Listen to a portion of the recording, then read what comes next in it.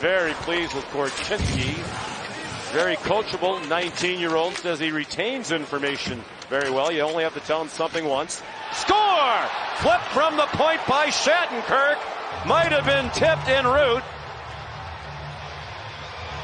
Looked like Zacha might have tipped it. And Boston has the lead one to nothing. 21 goals, a career high last year. Jake DeBrusk to Shattenkirk. And look at wide open in front of the net is Zacha. He gives it the old beaver tap, the little tap on the ice for Shattenkirk to deliver this puck.